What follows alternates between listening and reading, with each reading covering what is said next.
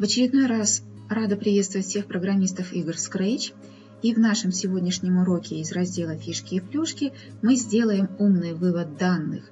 Сделаем так, чтобы компьютер автоматически подбирал нужную форму в словосочетании и выдавал нам 1 балл, 2 балла, 5 баллов и так далее, чтобы никогда не ошибался. По правде говоря, во многих играх, даже мною любимых, я встречаю такие случаи, когда, например, мне выдается какое-то сообщение, сделай там 22 шагов.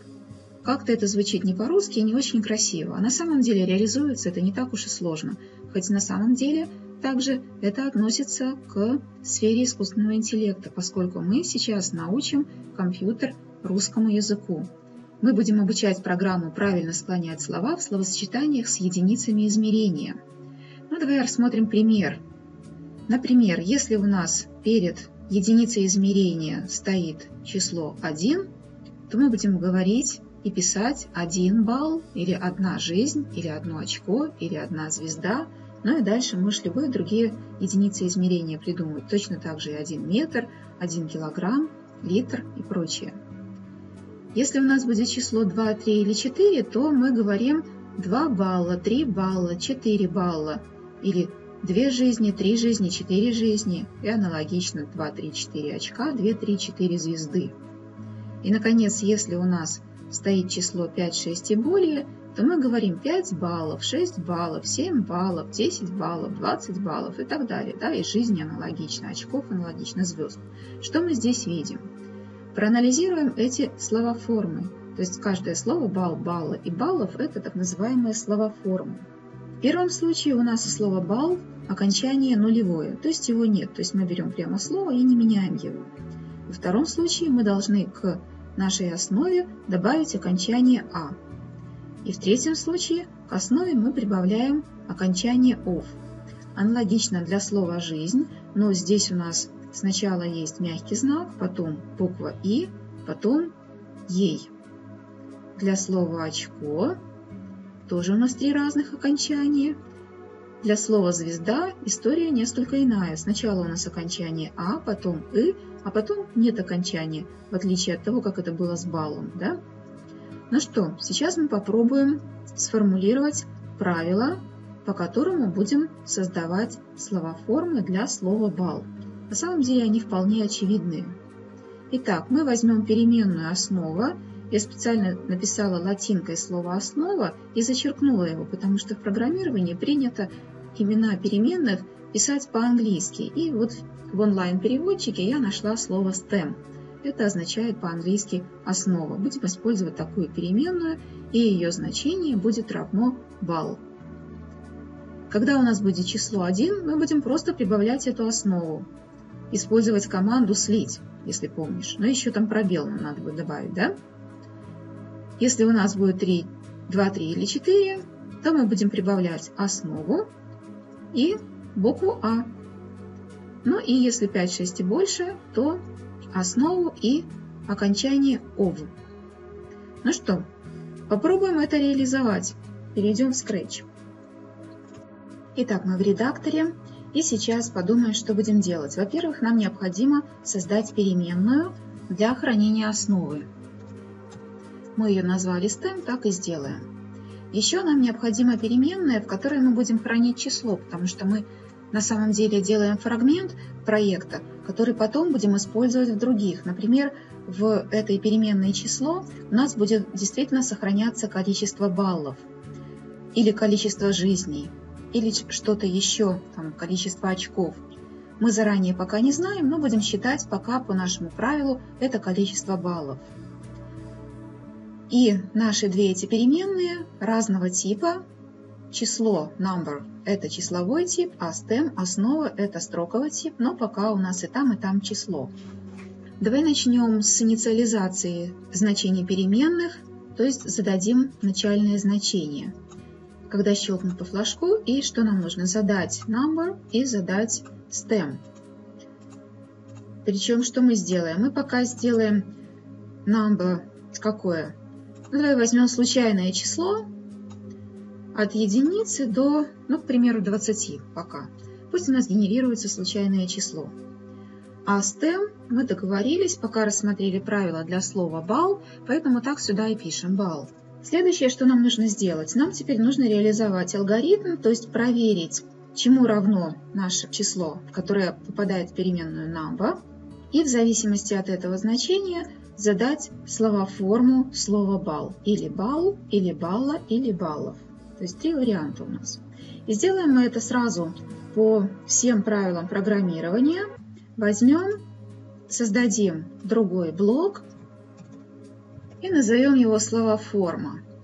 У этого блока будет, скорее всего, одна переменная, поскольку универсальная нам, э, наверное, не получится сделать очень разные все окончания, мы сделаем пока только для слова бал, но будем этот блок вызывать с одним параметром, с параметром число.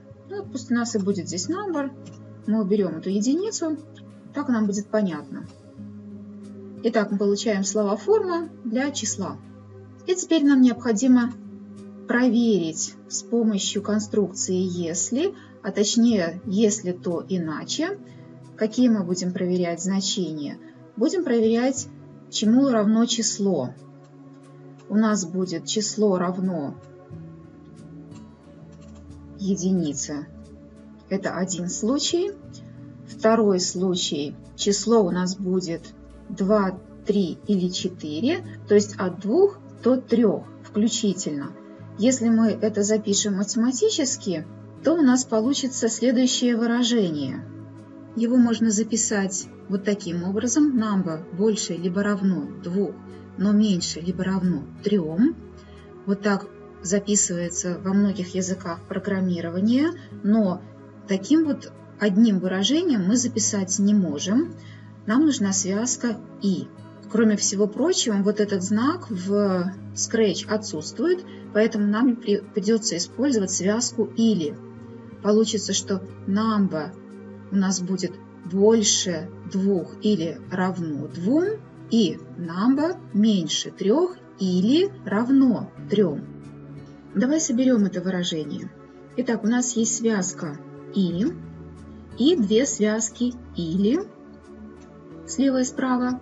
И слева у нас будет число наше number больше или равно двум. Значит, здесь пишем number больше двух или number равно двум. А с другой стороны у нас number меньше либо равно трем. Вот так. Меньше трех или равно трем. И теперь мы их соединяем в связку «и», приклеиваем. Здесь неважно слева или справа, ну вот чтобы было удобнее и понятнее эта запись, сначала вот этот элемент приклеиваем, а потом уже второй, тогда раздвигается. Вот такое вот получилось длинное выражение. Да, мы так размышляем, мы такие неравенства записываем. Но для того, чтобы программа была более оптимальной, чтобы код был красивее, Программисты стараются сделать так, чтобы такого рода условия тоже выглядели более компактными. В языках программирования есть знак меньше либо равно, больше либо равно. В Scratch нет. И мы можем преобразовать это выражение. Каким образом? Мы можем использовать связку «не». Что такое связка «не»? Мы будем отрицать вот это выражение через отрицание. Если у нас число number больше либо равно 2, это означает то, что оно не меньше единицы. Значит, мы берем знак меньше number единицы. Если число не меньше единицы, автоматически оно больше либо равно 2, если мы говорим о, числах, о целых числах. Здесь у нас всегда будут целые числа, поэтому нас это вполне устроит. В данном случае мы можем это использовать. И аналогично выражение number меньше либо равно 3 мы через связку не, через отрицание можем записать, что не больше 4. Number не больше 4. И уже возьмем связку «и». На самом деле это тот случай, когда нам не важно «и» или «или», потому что число нам важно, чтобы попало в диапазон. Согласись, так короче и читабельнее. Ну, пока я этот блок отнесу в сторонку, чтобы было на память. И проверяем. Почему я так долго рассматривала это выражение? Потому что нам имеет смысл сначала говорить о том, какое у нас число, если оно не равно единице. Потому что если оно равно единице, то это будет последний блок иначе. У нас останется та же самая словоформа. Итак, мы проверяем, если число в диапазоне от 2 до 3 включительно, то нам нужно ввести еще одну переменную, которая будет задавать нам форму слова, слова форма. Ну и чтобы было по-английски, мы напишем форм от слова форма. Так, и теперь мы будем создавать переменную форм. Если у нас от 2 до 3, прошу прощения, конечно же, не до 3, 2, 3 и 4. Здесь я немного ошиблась. Здесь должно быть 4, а здесь должно быть 5. Потому что у нас 2 балла, 3 балла, 4 балла. Это я немного ошиблась, хорошо сейчас подумала. И теперь мы должны собрать по формуле, мы должны к основе добавить букву А. Ну и еще мы будем собирать это вместе с числом, поэтому у нас будет даже не форма, а словосочетание сразу. И мы используем оператор «слить». К числу мы прибавляем пробел, прибавляем словоформу и окончание «а». Поэтому нам необходимо еще один блок «слить». Здесь мы пишем пробел. Обязательно нажимаем на пробел. И еще один блок «слить», где мы добавляем переменную, значение переменной stem и заносим окончание «а». По-русски, конечно же, «а». У меня английский стоял. Иначе нам сделать необходимо еще одну проверку, и тоже будет если то иначе, потому что последний вариант фактически это вот будет выполняться это условие, потому что другие диапазоны входить не будет. У нас уже единица, мы ее отбросили. Здесь у нас наше число будет больше 4. Number больше 4, то есть 5, 6, 7 и так далее. И в этом случае мы можем, в принципе, продублировать вот этот блок, потому что мы собирали тоже число, плюс пробел, плюс словоформа и плюс окончание ов. 5 баллов, 6 баллов, 7 баллов. И последний случай, иначе, смотри, мы делаем вложенные проверки обязательно, потому что это исключающее, потому, иначе если у нас будет, и последнее иначе, это, собственно, сама форма. То есть мы можем тоже продублировать этот блок, но здесь нам окончание не надо, поэтому мы этот кусочек убираем и оставляем только основу. Вот таким вот образом мы получим словоформу. Ну что, надо проверить. Что мы сделаем? Мы вызовем этот блок с числом number и выведем, пусть наш код скажет,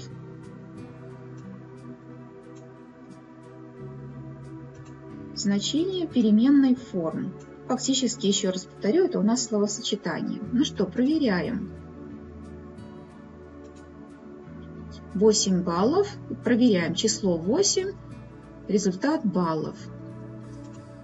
4 балла, 10 баллов, 2 балла, 3 балла. Ну и для того, чтобы вот 5 балла, что-то не так, здесь все-таки не больше 4, Давай еще раз проверим. Внесем сюда число 5. Вот 5 баллов. Внесем 1.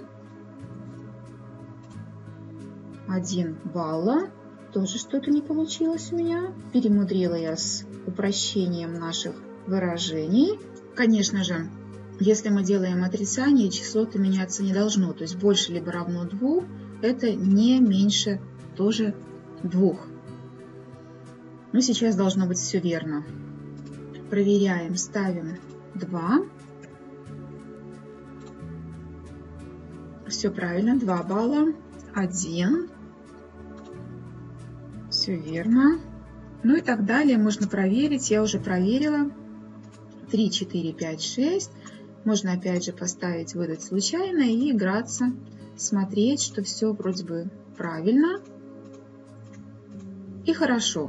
То есть фактически вот этот блок мы можем использовать. Но мы посчитали до 20, потом 21, допустим, будет у нас, да? Ну, давай случайное число уберем, а, к примеру, у нас будет 21 балл. Как правило, баллов-то больше. И что мы получаем? Тот самый случай, который я встречаю во многих играх. 21 баллов. Это неправильно, это ошибка. Как ее исправить? Нам необходимо сделать еще некоторое преобразование, потому что у нас не только при числе равном единице будет оставаться форма слова прежней, то есть останется основа для слова балл, но и в том случае, если число заканчивается на единицу, то есть 21 балл, 41 балл, 101 балл и так далее. Ну и опять же 22 будет не баллов. У нас пока баллов. Давай посмотрим. Вот так, тоже неправильно. Ну и 23, 24, легко догадаться, будет та же ошибка. А должно быть балла. Значит, мы должны еще поработать с этим числом. Как нам определить, какое число стоит на конце? Какая цифра в конце числа? Нам всего лишь необходимо разделить это число на 10 и узнать остаток. Допустим, у нас есть число 22, мы его делим на 10, получаем результат 2 и остаток 2. И уже с этим остатком мы будем производить наши проверки. Но прежде чем мы перейдем к дальнейшему кодированию, усложнению алгоритма, поставь видео на паузу и реализуй алгоритм для получения словосочетаний со словом «бал» для чисел от 1 до 20, так как только что сделала я и возвращайся, продолжим работу. Ну что, отлично. Я думаю, что у тебя получилось реализовать этот алгоритм и протестировать правильность его работы. И сейчас мы продолжим. Значит, нам необходимо, мы сказали, вычислять остаток отделения нашего числа на 10 и потом работать с остатком. Значит, мы можем создать переменную остаток. Как же по-английски остаток? На самом деле по-английски есть такое слово модуло. Но это, скорее всего, латинское слово, латынь, но оно как раз-таки используется как термин остаток отделения, и во многих языках есть даже такой оператор мод от этого слова, который вычисляет остаток отделения. Итак, мы задали нашу переменную, создали, и теперь будем ее вычислять. Итак, сначала нам нужно задать модула и выбираем остаток отделения нашего числа на 10. И теперь везде, где у нас здесь написано number, нам необходимо сделать, верно поставить модула. Вот так. Заменяем везде. Здесь все в порядке. Здесь. Здесь здесь надо свернуть. Ну, вроде бы все. Ну что, проверим. Давай, да для 22 получилось 2 балла. Почему получилось 2 балла? Потому что я торопилась, как обычно, и здесь вместо числа все-таки поставила number, а нам. Э, модула, а нам необходимо все-таки здесь оставлять число. То есть проверки мы делаем для переменной модула и здесь, и здесь, а потом преобразуем словосочетание, используя переменную number. Проверяем еще раз. 22 балла. Давай все-таки проверим, чтобы было в порядке. И 2 балла. Тоже отлично. 3. Отлично. А 23. Тоже отлично. А 5. А 25. Ну, вроде бы все верно. Насколько я помню, этот алгоритм должен работать. Но если мы сейчас введем число 11, то мы получаем 11 баллов. Точно так же, как мы получаем 1 балл, 21 балл, 31, 40 и так далее. Еще раз введу 11. 11 у нас должно быть баллов. И прежде чем мы опять усовершенствуем наш алгоритм, поставь, пожалуйста, видео на паузу и сделай те преобразования, которые только что выполнили мы. Я оставлю здесь скрипт, чтобы тебе было куда подсматривать, а потом продолжим. Надеюсь, у тебя все получилось. И теперь мы сделаем следующий шаг. Сделаем так, чтобы у нас все-таки 11, 12, 13, 14 было не балл и балла, а баллов. Значит, что мы должны сделать? Мы сначала должны отсечь эти значения, а потом уже вычислять остаток отделения и остальные делать преобразование. Это можно сделать на самом деле двумя способами, а может и тремя, даже не знаю, надо подумать. Здесь каждый программист может решать задачу любым удобным для него способом. Один способ. Мы сначала проверяем на равенство число 11, 12, 13 и 14. И если эти у нас, э, если number у нас равно одному из этих чисел, мы все остальные преобразования выполнять не будем, а сразу получим нужную нам словоформу и построим нужное словосочетание. Это один способ. Второй способ, там, где мы получаем по существу вот здесь, да, получаем исходную форму val, мы еще раз проверяем, если наше уже число не входит в этот диапазон, то мы получим вот такое словосочетание, а иначе вот такое словосочетание. Два способа, можно выбрать любой, но давай сделаем первый. Итак, у нас будет опять «если то иначе», причем в случае, если мы будем все преобразования делать, а иначе получим сразу словоформу. Нам осталось решить, какое поставить условие. Условие у нас будет следующее. Нам нужно отсечь, какие числа мы сказали, 11, 12, 13, 14, потому что 15 уже подпадает под наши правила, потому что 25 тоже баллов и 15 тоже баллов. Но 24 балла и 14 баллов. Значит, нам необходимо, чтобы эти преобразования выполнялись для чисел, которые меньше 11 или больше 14. Итак, у нас будет или число, так, вываливается, лучше сюда оставить, наше число number меньше 11 или, мы сказали, больше 14. Таким образом, мы отсекаем вот этот диапазон от 11 до 14 включительно. Вот так. А в том случае, если наше число в этот диапазон попадает, фактически это будет у нас иначе, мы должны получить вот эту форму с окончанием OFF тоже продублировали блок, и все у нас сейчас, я надеюсь, получится. Ну что, проверяем. Итак, 11 баллов, 21, 5 баллов. Почему? Потому что у меня каким-то загадочным образом исчезла здесь number. Давай еще раз. 21 балл. Ну, конечно, для чистоты эксперимента 1 балл. Дальше 12 баллов. 2 балла. 22 балла. Ну и еще 24 балла. 14 баллов. 4 балла. Ну и 25 ну или 15, начну с 15. 15 у нас уже баллов. И 25 я тоже думаю, что будет баллов. Все верно, мы протестировали, и теперь уже наша фактически функция, наш другой блок может быть использован в любых других проектах. И в следующей части урока я покажу, как этот блок добавить свой проект, в котором, допустим, наш персонаж будет, нашему персонажу или игроку будет сообщаться, сколько баллов он заработал. А сейчас предлагаю тебе реализовать этот алгоритм.